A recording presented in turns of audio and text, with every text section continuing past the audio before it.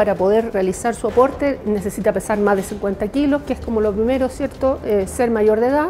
Y en el caso especial de los adolescentes de 17 años, pueden donar sangre también con un poder simple por parte de su tutor legal o sus padres. Y también tiene que haberse alimentado durante las horas previas, es decir, no encontrarse en ayunas tiene que haber descansado la noche previa, no estar saliente de turno, por ejemplo. Tiene que además tener una salud compatible que le permita la donación de sangre, es decir, no tener problemas cardíacos severos, no tener una hipertensión que no tenga control. Puede ser también diabético, pero estar eh, controlado, ¿cierto? Y estabilizado tomando medicamentos orales, no insulina inyectable, no haber tenido cáncer a lo largo de la vida, tener una conducta sexual responsable, consiste en el fondo no tener más de una pareja y no tener pareja nuevas en los últimos seis meses.